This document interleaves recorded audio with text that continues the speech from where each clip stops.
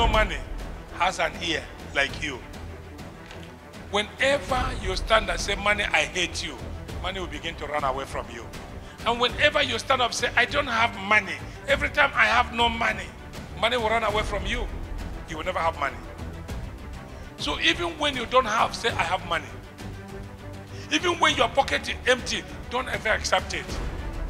Always declare, I have money. And money will begin to flow through you.